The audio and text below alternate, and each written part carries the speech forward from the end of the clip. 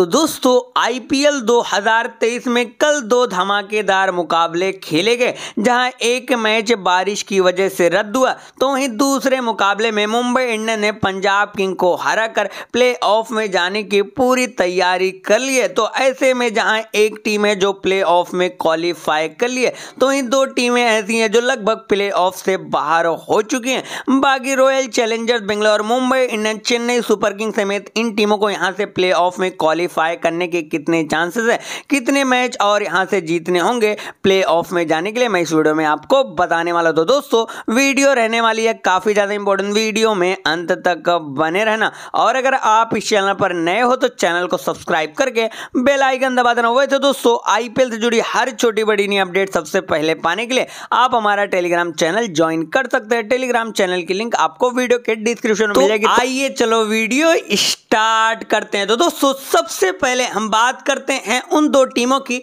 जिनके play off में qualify करने के चांसेस बेहद कम है। और ये टीमें लगभग प्ले ऑफ़ से बाहर हो सकती हैं, जिनमें है दिल्ली कैपिटल्स और Kolkata Knight Riders Delhi Capitals और कोलकाता नाइट राइडर्स ने अब तक नौ नौ मैच खेलकर छः छः अंक हासिल किए हैं। अभी पाँच पाँच मैच और खेलने और इन आने वाले पाँच पाँच मैचों में से पाँच के पाँच पूरे मैच जीतने होंगे। तब इन टीमों के पास सोलह सोलह अंक होंगे। और 16-16 अंकों के साथ ये टेमें प्ले ऑफ़ में क्वालिफाई कर सकती हैं। लेकिन बाकी टीमों पर भी इन टीमों को डिपेंड रहना होगा, क्योंकि 12 और 11-11 पॉइंट लेकर ऑलरेडी टीमें पॉइंट टेबल में टॉप पर बनी हुई है। और आने वाले सभी मैच कोलकाता नाइट और दिल्ली कैपिटल के लिए बहुत ही इंपॉर्टेंट रहने वाले। अगर एक भी मैच में इन टीमों को हार मिलती है तो प्ले ऑफ़ से बाहर हो जाएँगी। सभी मैच डू और डाई से कम नहीं रहने वाले। और अब बात करते हैं हम सनराइजर्स हैदराबाद की। तो सनराइजर्स हैदराबाद के आठ मैचों में छह अंक हैं। अभी छह मैच और खेलने और इन छह मैचों में से कम से कम तो पाँच मैच जीतने होंगे।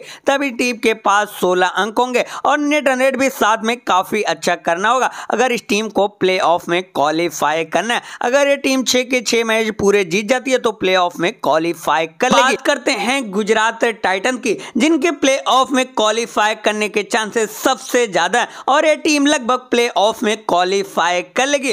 तक इस टीम ने नौ मैचों में बारह अंक हासिल कर लिया अभी पाँच मैचों में तो सिर्फ़ दो मैच इस टीम को और जीतने होंगे। तब इस टीम के पास सोलह अंक हो जाएँगे। इसका नेट रन रेट भी काफ़ी अच्छा तो सोलह अंकों के साथ ये टीम प्ले में क्वालिफाई कर लेगी। वहीं चार मैच अगर ये टीम जीतती है तो प्ले के साथ साथ पॉइंट टेबल में पहले नंबर पर फिनिश कर सकती है। और अब बात करते हैं लखनऊ सुपर जयंत की। तो लखनऊ सुपर और चेन्नई सुपर किंग दोनों ही टीमों का एक एक मैच बारिश के कारण रद्द हुआ।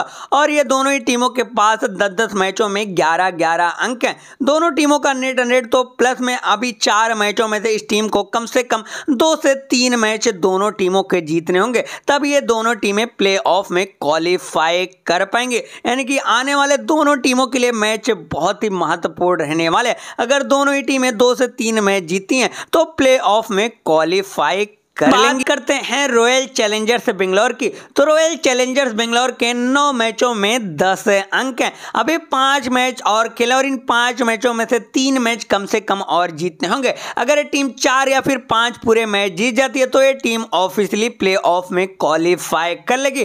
तो इन राजस्थान रॉयल्स के नौ मैचों में दस अंक है। इस टीम को भी पाँच मैच और खेले और इन पाँच मैचों में से तीन मैच और जीतने होंगे। इस टीम का प्लस पॉइंट है कि इस टीम का जो नेट नेट प्लस में काफ़ी अच्छा है। अगर ये टीम चार मैच जीतती है तो ऑफिशियली प्ले ऑफ़ में क्वालिफाई कर लेगी। इस टीम के प्ले ऑफ़ में क्वालिफाई करने के चांसेस काफ़ी ज़्यादा हाई लग रहे हैं। तो वही मुंबई इंडियंस के भी नौ मैचों में दस अंक है। इस टीम को भी पाँच मैच और खेले और इन पाँच मैचों में से तीन मैच कम से कम और जीतने होंगे। लेकिन इस टीम को अगर प्ले में क्वालिफाई करना है तो साथ में अपना नेट नेट भी काफ़ी अच्छा करना होगा।